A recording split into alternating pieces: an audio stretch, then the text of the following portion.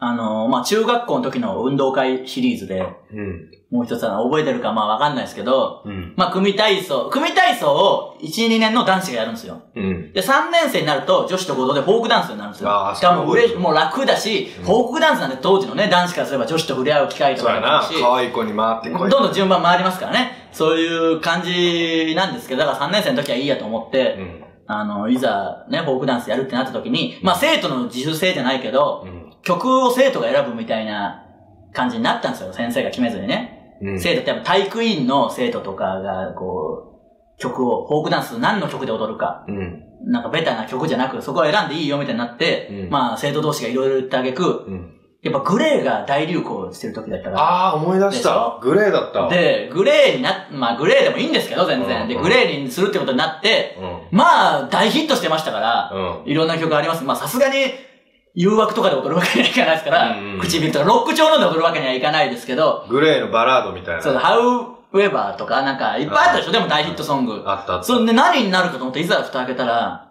あの、メイフェアっていうアルバムの曲そうじゃアルバムの曲で全然なんか知らんかった曲だったそうそうそうもん。あの、アルバム持ってたり、グレーのね、ファンの方はもちろん上がる曲し、うんめっちゃいい曲。めっちゃいい曲めっちゃいい曲だから、うんやっぱこれいいぞってなってやったんでしょうけど、中学3年間のね、集大成のフォークダンス、アルバムの曲で踊るってなかなかないでしょ。うんまあ誰かの、えね、好みが偏って。ええしかも、本当にいい曲です。今聴いてもめっちゃいい曲です今も俺聞くもん、でしょ？たまに。うんけど、逆に今でこそいいぐらいの感じじゃ、中学の僕らに分かるかというような、そうやな。あの、仕事帰りの。俺、ジャケンとか聞くんじゃん、メイフェア。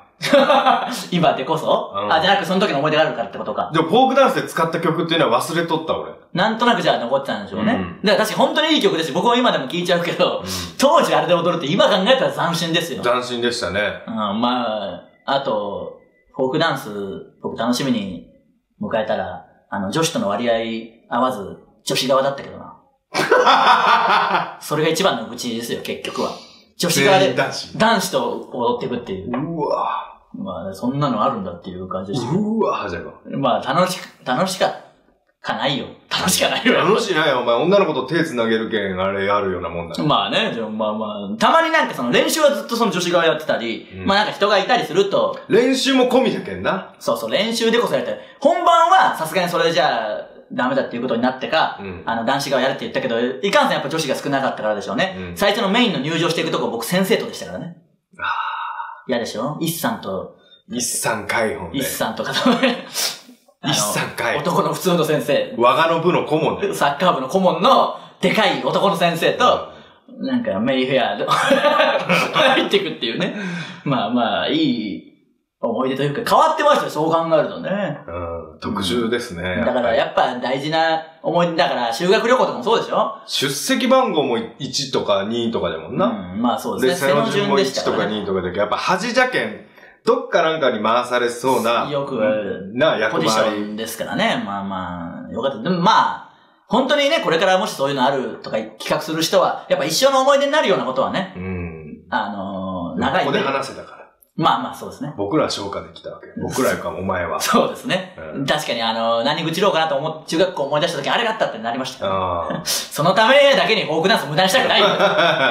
まあまたなんか思い出したらね、え愚痴りますんで。え中学校の時からいっぱいあったんですね、そう思うとね。ねいろんな思いがね。また愚痴りますんで。お願いします。